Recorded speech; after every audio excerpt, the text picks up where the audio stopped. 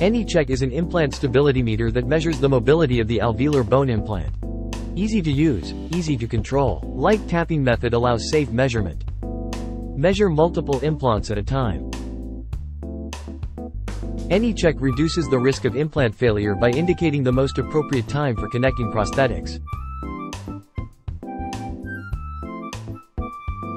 Without disconnecting the healing abutment, AnyCheck is an implant stability measuring device that measures the implant stability through slightly tapping the healing abutment.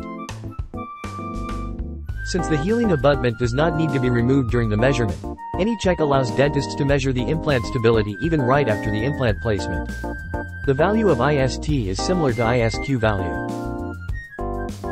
IST scale is measured through 6 times of slight tapping motion only if the IST scale is over 60.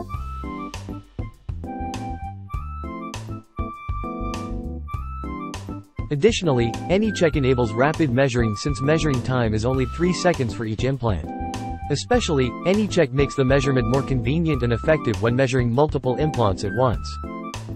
Simple and reliable way to measure implant stability without disconnecting the healing abutment. AnyCheck